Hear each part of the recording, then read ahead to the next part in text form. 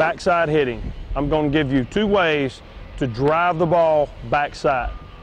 First of all, probably the easiest way to do this is to get up in the box and get off of the plate. Up in the box and off the plate.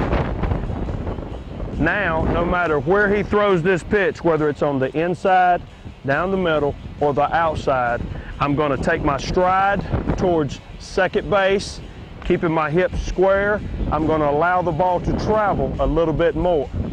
Once again, by being up in the box, I'm catching the ball higher in the zone. Therefore, it's easier to drive the ball backside.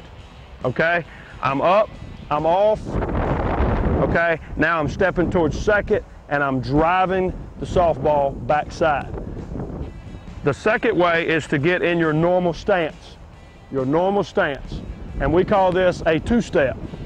And by two-stepping, my first step has to be behind, and then once again, I'm striding back towards second base and driving the ball backside. Once again, I have to allow the ball to travel a little bit more.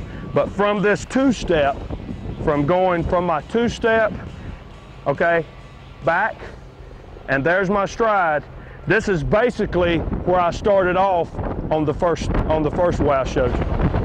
Okay? Now, one last key, and this is the key to hitting backside.